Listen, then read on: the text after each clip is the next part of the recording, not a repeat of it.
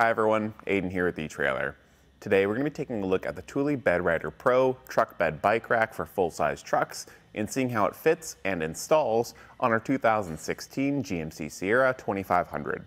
This is going to be a great way to carry up to two bikes with you mounted by the forks of your bike.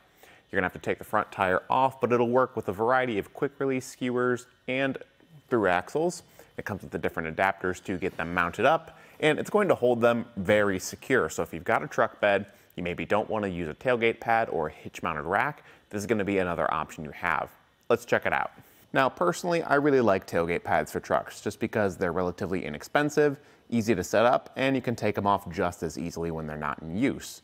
But if you're looking at an option like this, then that might be because a tailgate pad isn't something you want.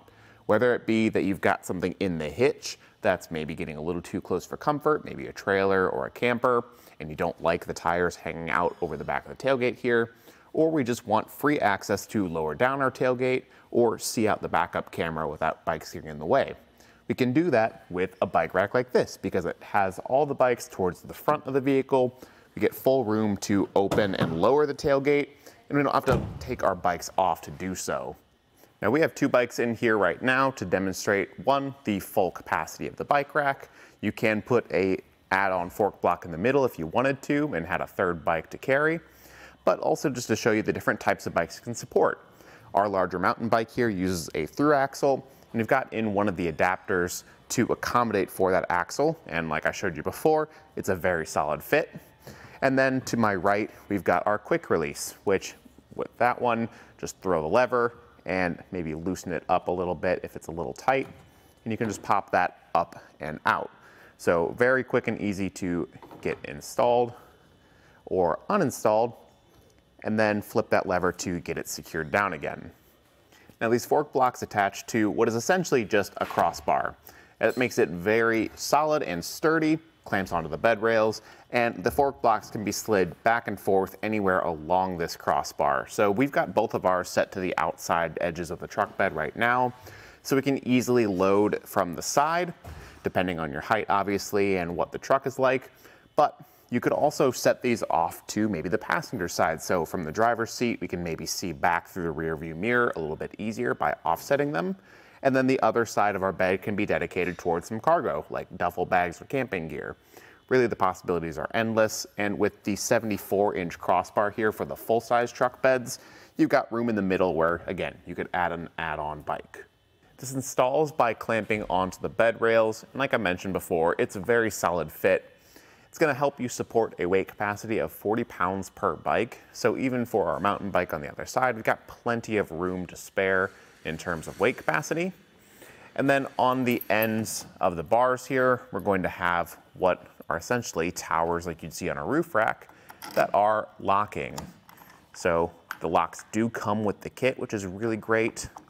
But when you pop those out, that'll reveal the hardware that we use to tighten all of this down. So the crossbar and these tower pieces clamp to the bases and that tightening is controlled by that bolt there. So with it locked up, no one can mess with it when you're not around.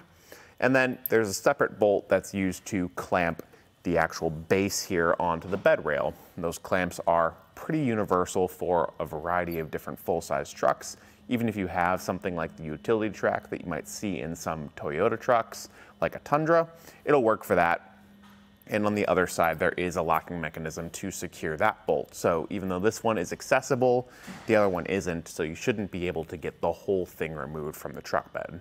And I know I mentioned before, something like a tailgate pad is very easy to remove whenever it's not in use, giving you back full access to your truck bed, but so is this.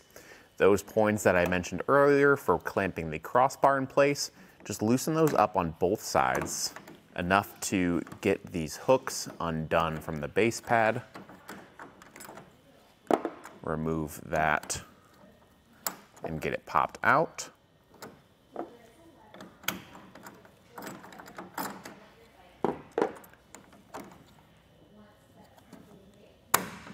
And once that's disengaged, just lift it up and remove it from the truck bed, leaving behind only the base pads giving you full access to the bed of your truck. So whether you've got a gooseneck like this truck does, or you just need to haul something larger and you don't want that crossbar in the way, you've got that back and you don't have to worry about moving the clamps because those are still installed, ready to go for whenever the next time you're biking is. Just drop that back in place, tighten it down, and load up your bikes. And for getting these clamps installed and doing all the initial setup, it's gonna be really straightforward. So check out how we did that now.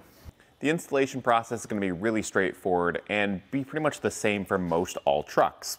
We're starting off in the bed with our clamp, our base pad here that sits on the bed rail, and then the long bolt that comes in our kit, and one of the washers. One of them will be a typical flat washer, and the other thicker one here will have a bit of a lip on it where our lock can attach to. And the only thing we really need to identify that differs between different trucks is which side of the clamp we use. The ends are both threaded for that bolt. The longer U here is gonna be for pretty much most trucks, just clamping up under the bed rail there.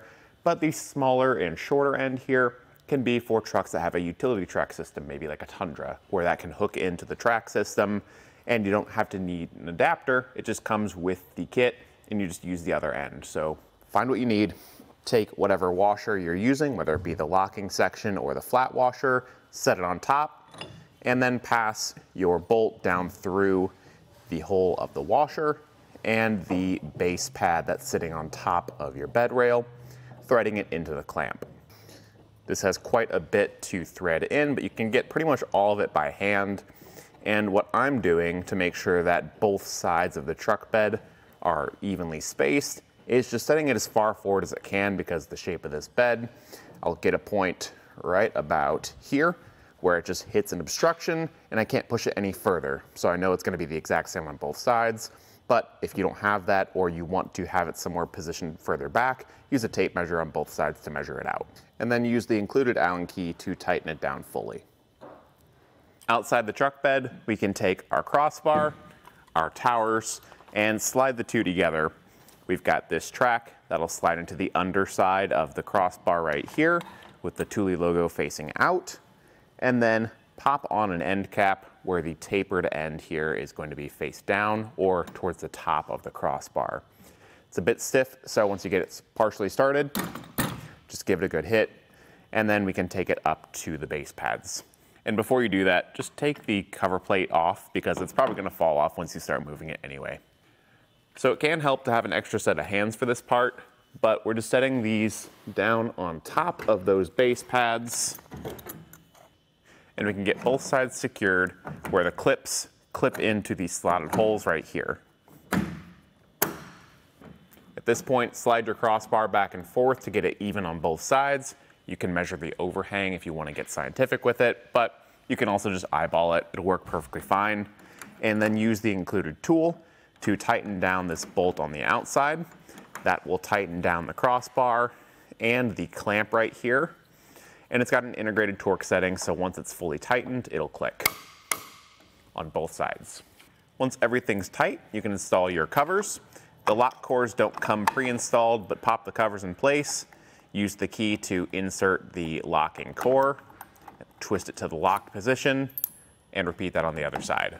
That lock process is the exact same for this piece right here, which goes over the thicker washer that we mentioned before can sometimes take a little bit to find the right spot to get the lock core to pop in.